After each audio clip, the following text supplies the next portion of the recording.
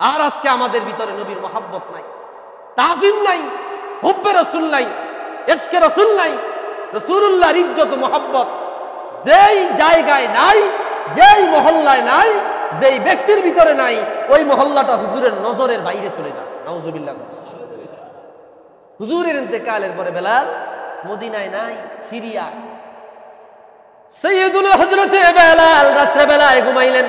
রাআ রাসূলুল্লাহি সাল্লাল্লাহু আলাইহি ওয়াসাল্লাম। বেলাল হুজুরকে স্বপ্নে দেখলেন। সুবহানাল্লাহ বলবেন না? নবীজি বললেন, ইয়া বেলাল, আম্মা আন্না লাকা আল্লাহ তাজুরানি। রে বেলাল, আমি মদিনায়, তুমি সিরিয়ায়, আমারে ছাড়িয়া কীভাবে থাকো? আমি রহমতুল্লিল আলমিনকে কি দেখতে মনে চায় না? আল্লাহ আকবার! ফান্তাবাহু হাসিনান ওয়াজিলান খাইফা। বেলাল ঘুম থেকে জাগ্রত হয়ে গেলেন, হাত পা কম্পন শুরু করে দিল। চোখের পানি ছেড়ে দিয়ে বলল, ইয়া রাসূলুল্লাহ, ইয়া সাইয়্যিদি, ইয়া হাবিবাল্লাহ, আমি বেলাল আপনাকে বলি নাই, আপনি মদিনায় নাই, আপনি দুনিয়ার মায়া ত্যাগ করলেন গো নবী, আপনাকে না দেখিয়া থাকতে পারব না, এ কারণে আমি মদিনা ছাড়িয়া সিরিয়ায় চলে গেছি। হুজুর, আমি অবশ্যই এখন আপনার দিদারে আসব, আপনার সাক্ষাতে আসব। বেলাল রওনা হয়ে গেলেন। বেলাল রওনা হয়ে, মদিনার উদ্দেশ্যে রওনা হয়ে গেলেন। পনেরো দিন সময় লেগেছে। সিরিয়া থেকে হজরতে বেলাল রওনা হইয়া রওজা আনোয়ারের মুখামুখি হয়ে গেলেন।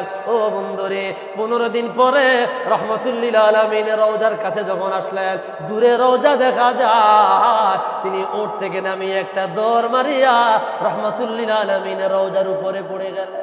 আল্লাহ রওজা মুবারকের মাটি হাতে নিলেন। মুখের মধ্যে মাখতেছে আর বলতেছে, ইয়া রাসূলুল্লাহ, ইয়া সাইয়্যিদি, ইয়া হাবিবাল্লাহ, আমি বেলাল আপনাকে বলি নাই।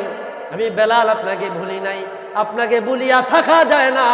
আপনাকে বলিয়া থাকা যায় না। আমার বায়ারা রাহমাতুল্লিল আলমিন রওজার সামনে বসে বসে বেলাল কাঁদতে লাগল।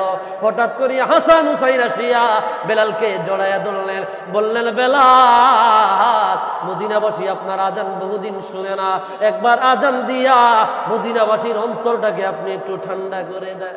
সুবাহান বেলাল বলল, হুজুর আগে হুজুর রহমাতুল্লিন আলমিনকে দেখি আজান দিতাম। এখন আমি কাকে দেখি আজান দিব? হুজুর ছিল আমার, হুজুর ছিল আমার ব্যাটারির চার্জ।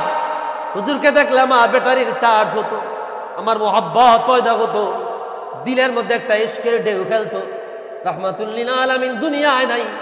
হুজুরকে আমি রাখিয়া, অনুপস্থিত রাখিয়া আমি কীভাবে আজান দেব?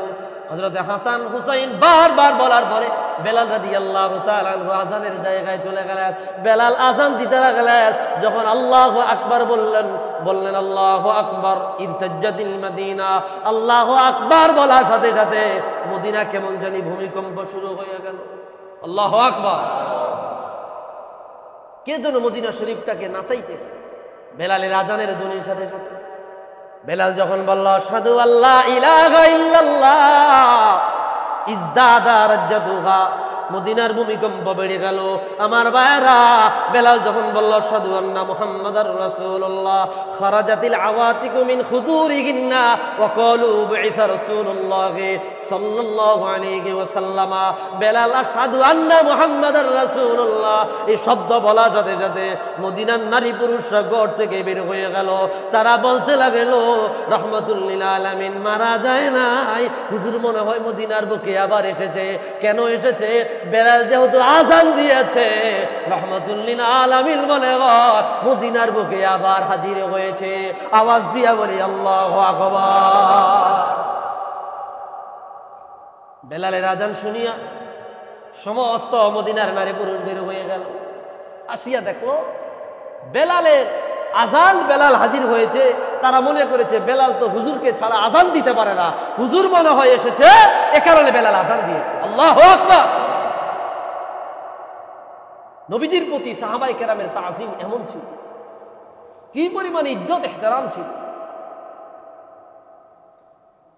আর আজকে আমাদের ভিতরে নবীর মহাব্বত নাই, তাজিম নাই হুব্বে রসুল নাই এসকে রসুল নাই রসুল্লাহর ইজ্জত মহাব্বত যেই জায়গায় নাই, যেই মহল্লায় নাই, যেই ব্যক্তির ভিতরে নাই, ওই মহল্লাটা হুজুরের নজরের বাইরে চলে যায়। নাউজুবিল্লাহ। হুজুরের নজরের অদূরদর্শিতা কত পাওয়ারফুল ইমাম বাজ্জার মুস্তাদ বাজ্জারের মধ্যে